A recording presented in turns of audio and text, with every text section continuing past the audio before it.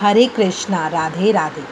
आज इस वीडियो में हम देखेंगे कि हम अपने बाल गोपाल के लिए सुदर्शन चक्र किस तरह से बना सकते हैं। ये बहुत ही अलग विचार है, बहुत ही डिफरेंट थॉट है।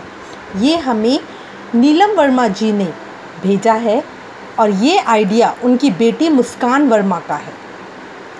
इस तरह की क्रिएटिविटी से, इस तरह के आइडिया से पता चलता है कि जो हमारे बच्चे हैं, वो भी एक अच्छी लाइन में जा रहे हैं और वो भी बहुत कुछ अच्छा सीख रहे हैं।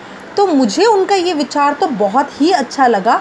हमारे छोटे से नन्हे ठाकुर जी के लिए सुदर्शन चक्र हाथ में। देखने में बहुत सुंदर, बनाने में बहुत आसान है। स्टार्ट करेंगे। शुरू करने के लिए हम पहले एक कार्डबोर्ड ले लेंगे। ये हमने स्क्वायर शेप में लिया है। इसके लिए हमें मटेरियल भी ज़्यादा नहीं चाहिए होता। अब जो हमने कार्डबोर्ड लिया है, उसके ऊपर पहले हम एक सर्कल ड्रॉ करेंगे। ये सर्कल हमें जो हमारे कान्हा जी का हाथ है, उससे बस थोड़ा सा बड़ा लेना है, बहुत। ये बहुत बड़े साइज़ का नहीं बनेगा, बहुत छोटा सा बनेगा। और उसके ऊपर इस तरह से हम ट्रायंगल ट्रायंगल बना देंगे सर्कल के चारों तरफ़, जो हमें, जो ब्लेड की शेप होती है, वो देगा। अब इसको हम कट कर लेंगे।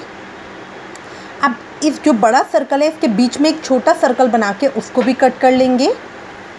ये कुछ इस तरह से आ गया।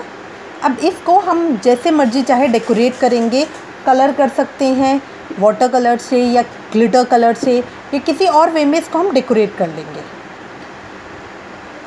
बीट से स्टोन से, किसी और चीज़ से इसको डेकोरेट करके ये हमारा रेडी हो गया है।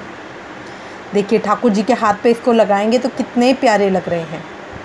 मुस्कान बेटा का आइडिया मुझे बहुत अच्छा लगा है।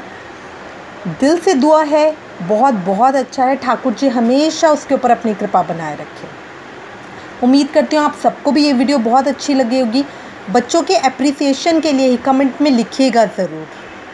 Thank you for watching Hare Krishna.